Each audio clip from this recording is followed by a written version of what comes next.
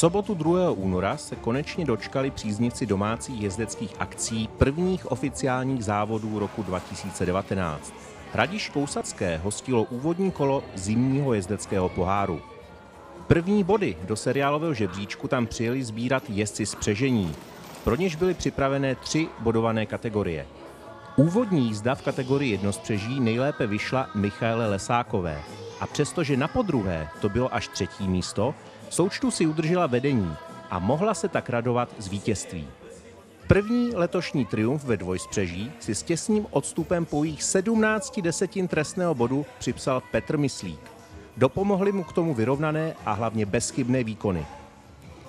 Pětice účastníků se sešla na startu královské kategorie, neboli čtyřspřeží. Výsledkovou listinu uzavřel Milan Domes, jenž v Radišku absolvoval všechny tři pohárové soutěže. Po jednom schození v každé jízdě zaznamenal Jaroslav Jandl, který obsadil čtvrté místo konečného pořadí. Velký favorit halových soutěží Petr Vlašic nastoupil po soutěži dvojspřeží také se čtyřkou, v níž opět zapřáhal nováčky. Podal s nimi solidní výkony, jež mu nakonec vynesli pomyslný bronz.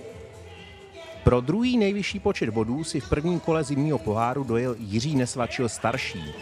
Začal druhou příčkou, posléze kvůli jedné chybě lehce ztratil, ale pozici se mu nakonec podařilo udržet.